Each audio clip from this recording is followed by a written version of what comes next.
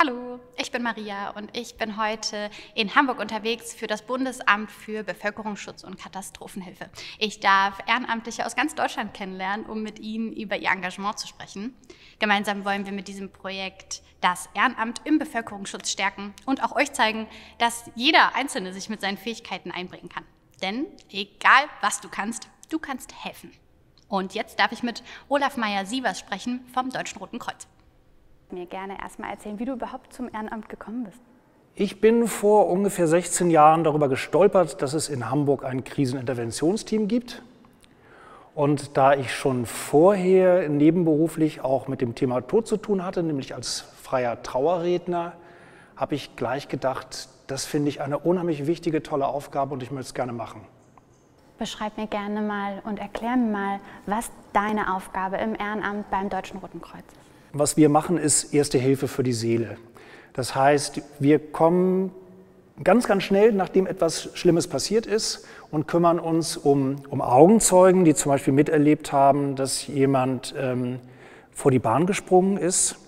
Oder wir kümmern uns um Angehörige, die von der Polizei die Nachricht bekommen, dass der Papi bei einem Verkehrsunfall ums Leben gekommen ist. Ähm, oder um Menschen, die bei einer Geiselnahme Geiseln waren denen vielleicht im Endeffekt gar nichts passiert ist, aber die Todesangst ausgestanden haben. Das sind unsere Aufgaben.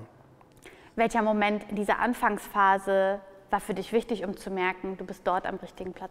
Gerade in der Anfangsphase hat das eine ganze Weile gedauert, bis ich gemerkt habe, dass ich am richtigen Platz bin. Ich erinnere mich an meinen allerersten Einsatz, als die allererste Alarmierung kam. Da saß ich so im Auto, habe total geschlottert und gezittert, hätte gar nicht Auto fahren dürfen eigentlich. Das heißt, ich habe einfach einen riesen Respekt davor gehabt.